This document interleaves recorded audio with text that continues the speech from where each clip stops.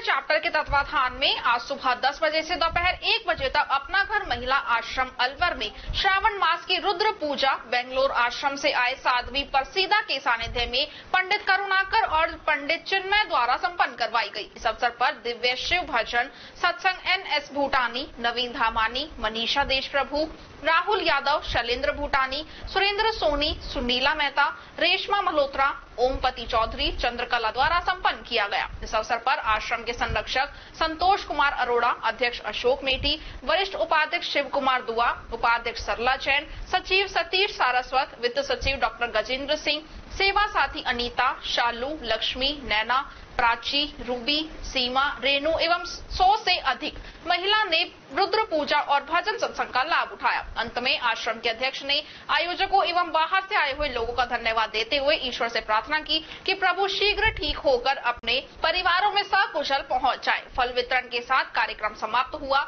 ये जानकारी media coordinator N S Bhutani ने दी।